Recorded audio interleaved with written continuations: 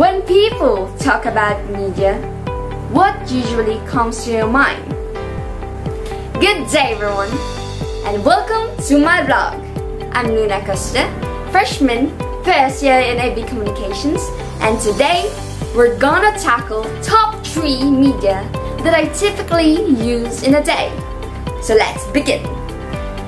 Media is a powerful force in shaping society. It reaches many people at the same time, and people rely on media for the way they perceive their surroundings and the world around them. Media exists in many forms, the three main categories being print, broadcast, and new media. Print media refers to paper publications like newspapers, books, magazines, newsletters, and journals. This media is essential for me, who is a student, and I usually find these at the library.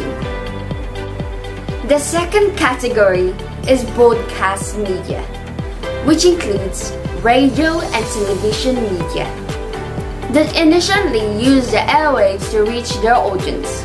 Of all the mass media, television probably has a distinguished potential for socialization as it widely connects to people.